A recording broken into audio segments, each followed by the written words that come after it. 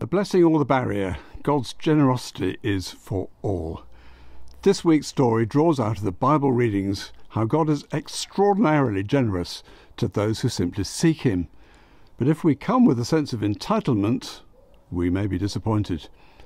It's Ian Greig here again, and we're looking at God promising King David a successor in 2 Samuel 7, the promise of Jesus' compassion for all in need who draw close to Him, that's towards the end of Mark 6, and teaching for the early church in Ephesians 2 that all who simply believe in Jesus are promised access to the Father without favoritism or discrimination. Details are repeated in the notes underneath. So, in the first snapshot this week, we join King David, who has won a series of military campaigns and taken over the hilltop city we now know as Jerusalem, and he's built himself a palace overlooking the city. After a long, slow praise procession, the precious Ark of the Covenant has been brought up to Jerusalem and installed in its special tabernacle tent in this high up stronghold near to David's palace. But he has a conscience from the Bible. After the king was settled in his palace and the Lord had given him rest from all his enemies around him, he said to Nathan the prophet, here I am, living in a house of cedar, while the ark of God remains in a tent. David wants to build God a palace as well, a temple.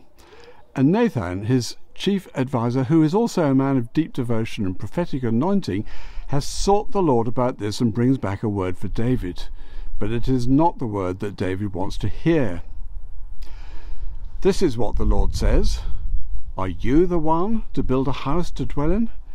When your days are over and you rest with your ancestors, I will raise up your offspring to succeed you, your own flesh and blood, and I will establish his kingdom. He is the one who will build a house for my name, and I will establish the throne of his kingdom forever.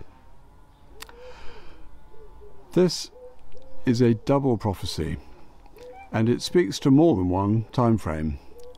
That's a bit difficult for us to grasp. We have watches and clocks, calendars and appointments, and we are very time conscious. But God dwells outside time, so he can relate to the beginning of time, the creation, and also the end time when Jesus returns, and everything in between. Helped by hindsight, we can see that this points first to David's son Solomon, who did build the temple and consecrate it. But it also points to David's much, much later successor, Jesus of Nazareth, whose return and full reign we await with trepidation. Reading the whole passage, it is clear that it amounts to a covenant, a promise by God to David about what God would do through him.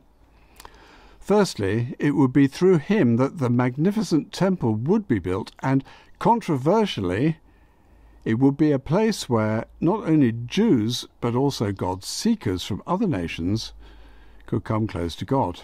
God's generosity is for all. The temple, with its army of priests and their Levite assistants, served its purpose as the central place of worship for about a thousand years, until Jesus' death and resurrection.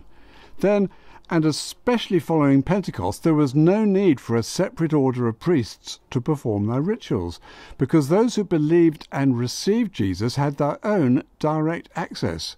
They could know God personally. And that's where we are today. We don't need a caste of separate, religiously endowed people to be go betweens between us and, and finding God.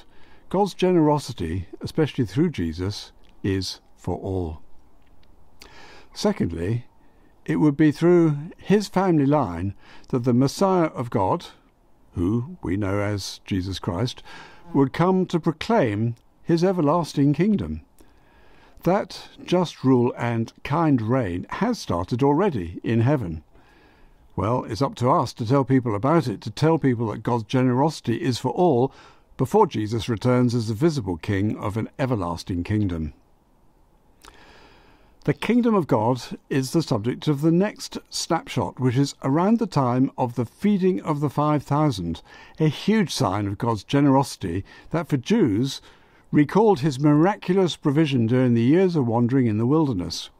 But this picture is not of that scene, but around the edges of it. Imagine a community of people who could just about get enough to eat and support themselves, as well as paying the temple tax and the Roman tax. Now, if you couldn't work, you couldn't earn. Sickness and injury were serious problems. Only the rich could afford the limited help of someone like Dr. Luke, who also wrote a gospel and a sequel called Acts. But the people had got the message that this Jesus of Nazareth had God's power to restore broken and disabled people and heal those who were sick and afflicted.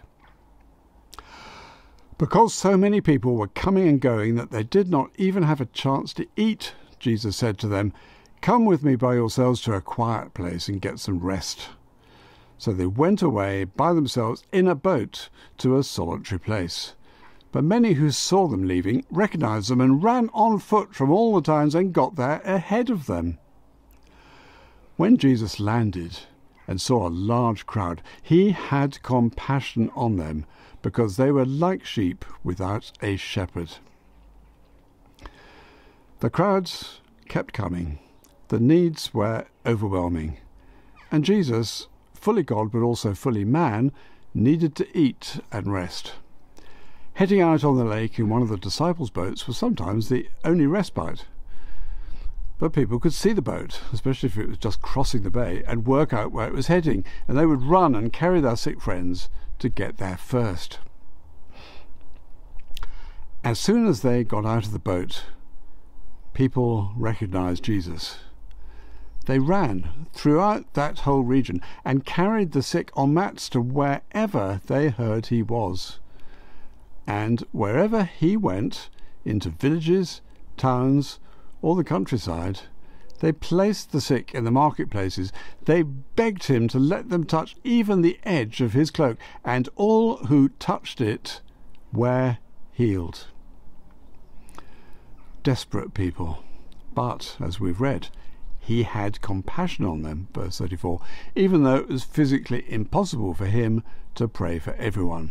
They begged him to let them touch even the edge of his cloak, and all who touched it were healed. God's generosity is for all.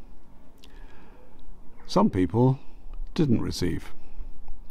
There were Jews who thought that those who carefully kept all the religious laws were the ones who deserved God's blessing. And some of those crowding around Jesus in Galilee's mixed populations were not even Jews. Not long before, Jesus had been forcibly ejected from the Nazareth synagogue where he had been speaking for suggesting that God's generosity was for all people. It is a picture of sharp contrast rich and poor, observant ones and Pharisees, and ordinary people, Jews and those of other races. God's generosity is for all. The third snapshot in this week's story is of the early church, where some struggled with the way God's favour came on the new Greek converts, who came knowing nothing at all about the one living God. Others in the church were Jewish converts, with a centuries old tradition of being God's chosen people. Surely this gave them some entitlement. So they looked down on the converts from pagan beliefs and made them feel inferior. In his letter, Paul challenges this. Remember that at one time you were separate from Christ, excluded from citizenship in Israel, and foreigners to the covenant of promise, without hope and without God in the Word. But now in Christ, you who once were far away have been brought near by the blood of Christ. This is the religious spirit that stifles many churches and turns them effectively into clubs for the like minded rather than mission stations for the kingdom of God.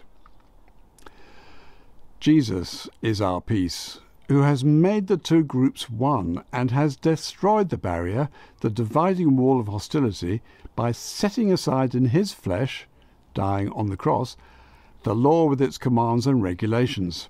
His purpose was to create in himself one new humanity out of the two, thus making peace and in one body to reconcile both of them to God through the cross. The only distinction that heaven makes is whether we have received and believed in Jesus or whether we are still stuck in our doubts. Once we have trusted Jesus for who he is and what he has done for us, it makes no difference what man made tradition we lean to.